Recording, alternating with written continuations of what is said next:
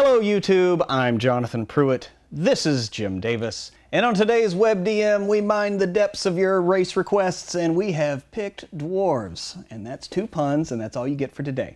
Let's get to it on WebDM.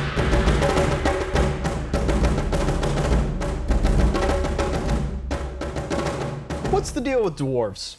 What's the deal with, With dwarves? the trifecta of fantasy races: dwarves, elves, Humans. halflings. It would be the other fantastic one. Humans, less fantastic. The classic demi-human. Yeah. Uh, been around since the beginning of the game. Not one of these newfangled uh, dragonborn or uh, whatnot.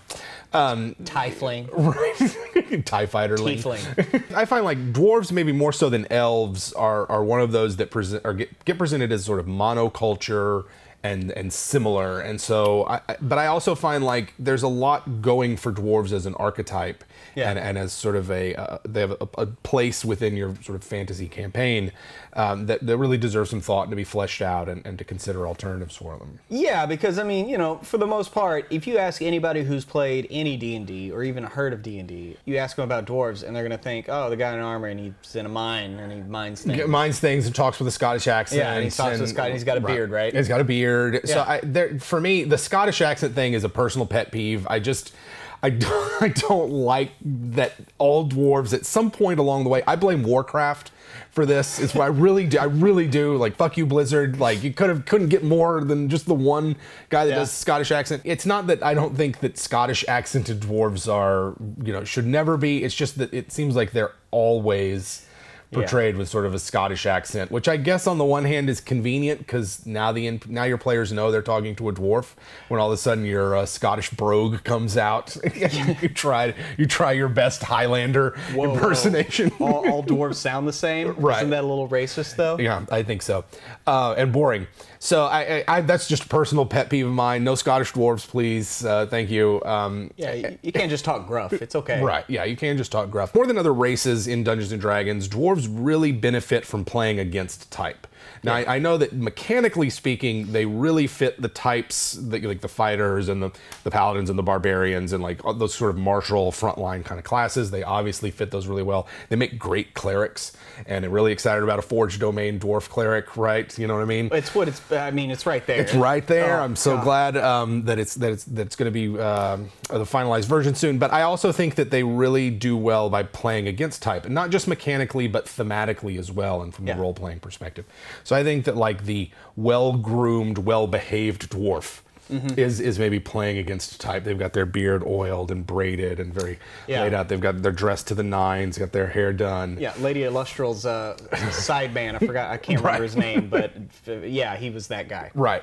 Uh, so the, they're sort of the well-groomed, well-behaved dwarf, as Mm-hmm. opposed to the flecks of, of ale and, and meat in, in their beard and the Yeah. blood-caked axe and. Because hilarity ensues when the well-groomed dwarf meets the battle rager. Right, right, right. The battle rager wants to come into his home. Yeah, and then it's not going to happen. I could even see like a well-groomed battle rager, where it's just like, yeah, after the battle, they do have the whole ritual where they Cleansing. cleanse themselves hmm. and wash the battle away from them because now it's a sacred thing or something. I, I that's I, I like playing against type in that way. I would love to play like a non a non-drinking dwarf. Right, like a dwarf that's like, yep, I'm off the sauce. No, thank you. I'm, I'm you know, I, Oh man, a dwarf that's gone through like AA a couple times. He lost his family. Uh, he lost an adventuring group because He he, lost an adventuring group because he was drunk. He fell asleep on watch, and the you know the gnolls came in and slaughtered everybody, and now he's got that PTSD from that. Those are some of the things that I would do. A pacifist dwarf, Oh, right? Like a dwarf that doesn't resort to violence. Because I, I do find that when dwarves are portrayed, they are portrayed very stereotypically, and they're sort of like rowdy and and ready for violence and fighting, and they're going to drink, and maybe that's what you want out of your fantastical races. You want them those kind of classic, cliched mm-hmm. sort of, of, of moments that reinforce a certain stereotype or that reinforce a certain concept. But if you're looking to create a rich, multi-layered, multifaceted kind of world, then creating and encouraging off archetype uh, Yeah. uses of these of these fantasy races uh, can lead to that. Yeah, because you don't always need a song about bending the spoons and whatever. Forgot the name of the song, but you know what I'm talking about. Bend the Oh yeah, break the bend the knives and break them, something like that. Yeah, I don't know. Uh-huh. It doesn't The always have to be that way. It doesn't have to be that way. So having having dwarves that do play against type, whether you're talking about like personal character, like like this particular PC dwarf, Mm-hmm. Is against type or having a civilization of dwarves that's maybe non-mountain dwelling. So like in my in, my long-running uh, uh, homebrew campaign, dwarves sort of serve as the epicenter of civilization. They taught mankind the skills of metalworking. They taught mankind the skills of writing. Mankind taught dwarves magic. Uh, but ma- dwarves no longer live in their mountain halls. Uh, it's something that we've never explored in any campaign, but it's one of those things where it's like they abandoned those places long ago for life on the surface and yeah. created kind of a symbiotic relationship with the humans around them. Obviously, borrowing a bit from Warhammer in that Warhammer, non Age of Sigmar Warhammer, the dwarves and Imperial uh, humans kind of uh, copacetic and, and, get along. But I, I, like that idea of a of a civilization of an empire comprised of both equal parts human, dwarf, and in, in the case of my homebrew, goblin as well, and the dwarves sort of serving as the bureaucratic functionaries of this empire. The humans are the nobility, the royalty, the figureheads, but behind the scenes are an army of dwarven bureaucrats and administrators yeah. and and clerks that keep yeah. the whole thing running because they live for two or three hundred years and they know how to do things. They know how to get things done. Yeah, it provides some stability. You want you want a dwarf that's been counting those coppers for a century right. to continue keeping the books balanced. Sort of, they serve as a managerial class in this empire that that uh, that, mm-hmm. I've, that I've created, and I have it as that that creates tension because they're so long lived, the shorter lived races have they grow resentful. They say, well, you know, you occupy all these levers of power because of your longevity. Mm-hmm. Um, and, and so that's sort of how I've played dwarves in my homebrew uh, campaign. I think that playing off those things, the long lived race, the race that's that's good with crafting and good with their hands and good with practical things, like those are the elements of dwarves that I like. Yeah. They're they're very physical. They're not. Uh, they're very concerned with practical matters, with with matters of sort of engineering and physics and mechanics, and less about like the the more spiritual, ephemeral kind of things that maybe elves are more concerned with. There are three sub races. Right, three sub races of, of dwarves so far. First off, what is your favorite? Gosh, I, I, probably, and I get them confused. I, I, you know, there's hill and mountain and Duergar in, in the player's handbook, but I always refer to their forgotten realms like shield and shield gold. gold. Yeah, the, I just Same the, here. I, I, get them mixed up that way. I think I like gold dwarves better, yeah. this because the shield dwarf is that classic battle axe wielding. I'm gonna bang it on my shield with my horned helmet and my braided red beard. One um, of those horns is probably broken. One of those horns is probably broken. For some reason, I like my dwarves to have a Sumerian or Mesopotamian look to them, like the ringlets mm. in their beard, very like robes with lots of gold, and, and I like them to look very, I don't know, very magisterial, very yeah. imperious. Of course, they also make really great, great clerics mm-hmm. which is uh, yet another reason to, to like them. And the Duergar as well, like the fact that they live underground. I, the, obviously, there are parallels between the elves and the drow and surface dwarves and Duergar. Yeah. I, I kind of like playing them as though that split isn't as uh, acrimonious and, and bitter like it is between surface elves and drow. Right. And, and the Duergar are just, they're just dwarves that never get to the surface. Yeah. Yeah. right? You they're know, basement dwarves. They're basement dwarves, and yeah, they've had trouble with the lithids, and they have a bad reputation. They they live in the Underdark, right? And so there's, mm-hmm. it's kind of hard to maintain a good reputation when you live in the Underdark. But they're less like hell bent on being vindictive and mean spirited and evil. Yeah, they're slavers yes, they, they traffic with devils and things like that, but it's not as extreme as the drow are sometimes portrayed. Um, mm-hmm. And so that's just kind of the way I, I, look at it. And, you know, when all the dwarves get together, the Duergar are invited. They're just kind of the, you know looked at with a, with the uh, yeah. side glances. They're invited, but you try to hold whatever you're whatever you're inviting them to as far away from their domain as possible because right. you really don't want them to show up. Right, but you have to because they're family. They're cousins. They're cousins, sure. Uh, but you know, dwarves are also one of those things where I, I, find that they have a strong elemental affinity. Obviously, earth and fire are, are, two elements that you could easily associate with dwarves. But like you could also say like that the dwarven high mountain passes where the wind blows fiercest and and the the the, the snow never leaves the mountain. Yeah. are also sort of the elemental uh, features for that elemental character of the dwarves. Yeah. that maybe lend themselves more towards uh, elemental magics, mm-hmm. towards uh, manipulating the elements in that way. So there's it, more interesting things that you can do than just have a bunch of like anvil banging, beer swilling. Uh, yeah, uh, I mean, playing against type, like I, I imagine like dwarves high up in the mountains, like singing out into the in, into the those mm-hmm. mountain passes and letting their voices echo down. Absolutely. You know, uh, keeping with their mountain theme, it's like, you know, each little valley in the mountains has their own sort of dwarven settlement. It's difficult to get valley to valley. And so that maybe they have these like long alpine horns that they communicate valley to valley with, or mm-hmm. maybe like these great big megaphones mm-hmm. that they do their singing into that they communicate across the valley with. Images that I get in my head. A lone dwarven shepherd on the mountainside tending their dire goats. Yeah, literally walking up, the, Literally a- walking a up. sheer cliff face. Right, a uh, you know a dwarven merchant making his way through through foreign lands with the wares of his people, or a dwarven matron who's established a tavern in, a t- in in town and and sort of sees everyone that comes in as part of her extended clan. Like those are the kinds of things that uh, that I that I like dwarves for. And I also love the idea of a short sword wielding dwarf.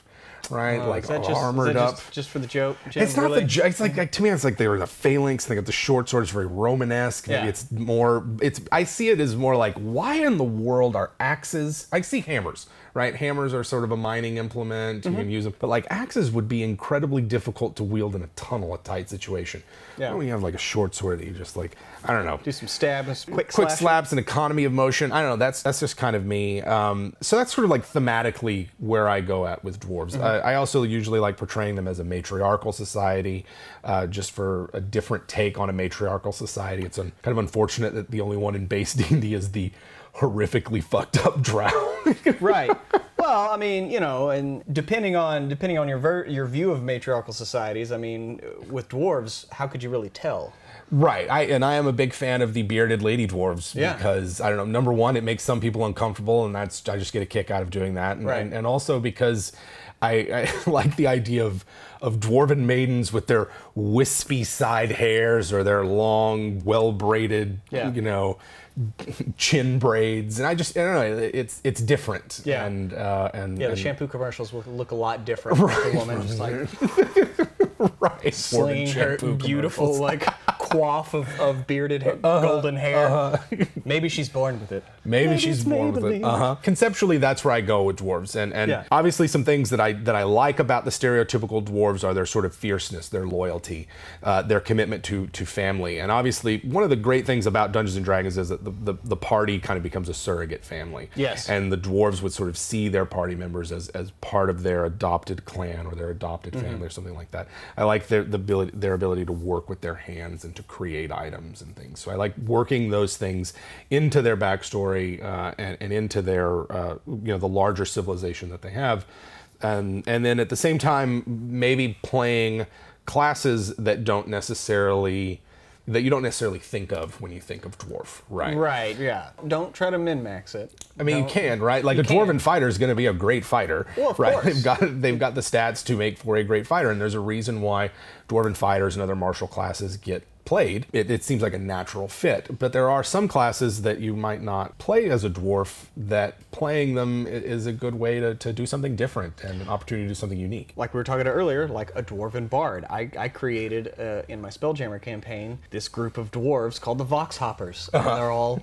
they all fucking fly into combat and use stun attacks with their voice, but they're all a bunch of bards casting Featherfall. so they, you know, I don't know. I, I- just thought that was an evocative. Uh, This reminds me of like Black Canary or, or Black Bolt or something, someone that uses their voice as a weapon. And of course, in Dungeons and Dragons, I think the Bard is really well suited for that.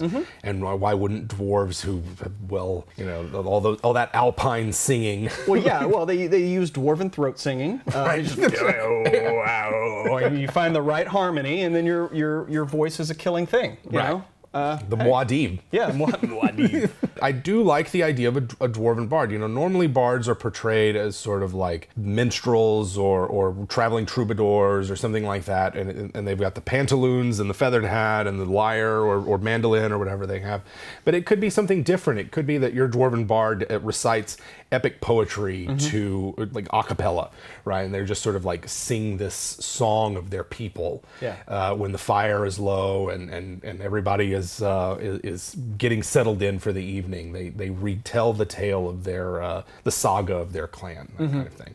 Um, and, and in battle, they inspire others with tales of, of their their clan's illustrious uh, history. I like it just because it's like they're not a charisma based uh, race, so it, it's fun to pair them with charisma based classes. Um, I, I like the idea of, of a dwarf druid, right? Yeah. Like uh, there was that one in the the what is it, the cleric canticle or whatever it is, cleric quintet. Yeah, um, yeah. R.A. Salvatore, the Bouldershoulder brothers. Right. I believe you're speaking of Pikel, Pikel Bouldershoulder. a doodad.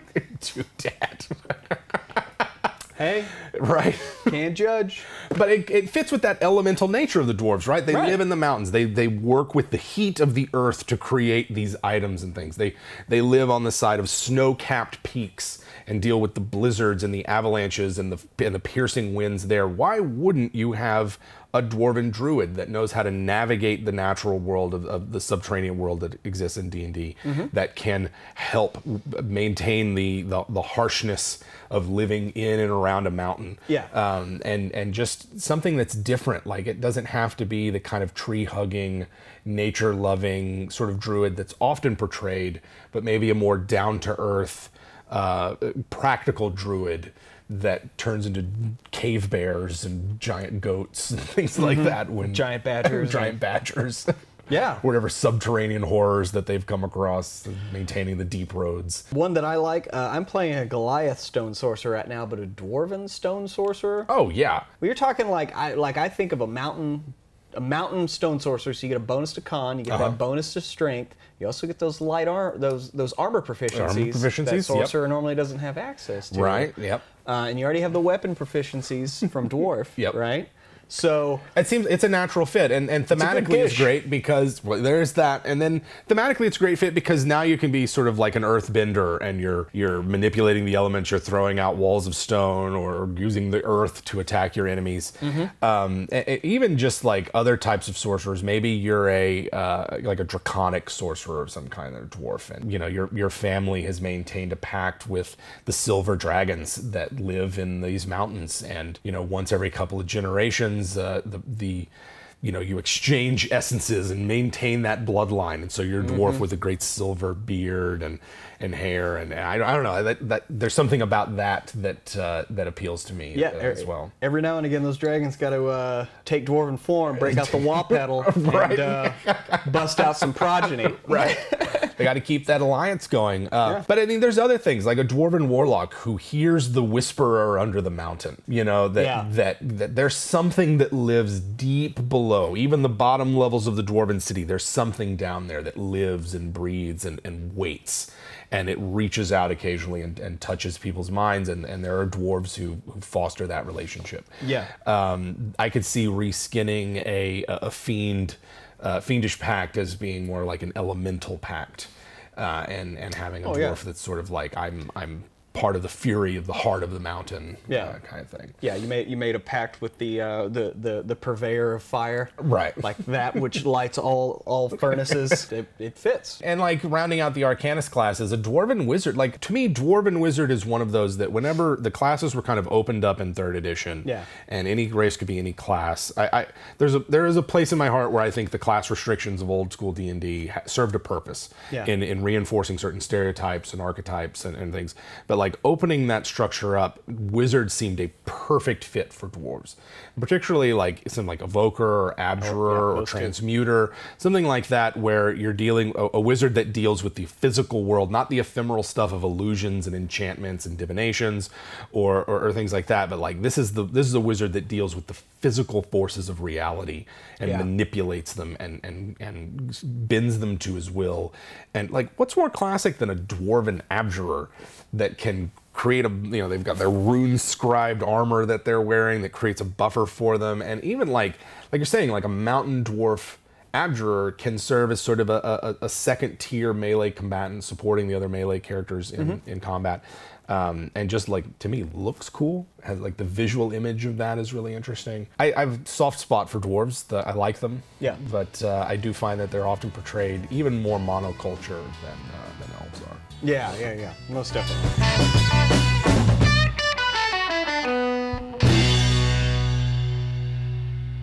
I, yeah, I know I've answered this one a couple times. Top three favorite RPGs um, are- probably will undoubtedly be uh, Warhammer Second Edition, Warhammer Fantasy Roleplay Second Edition, and they're, they're no particular order.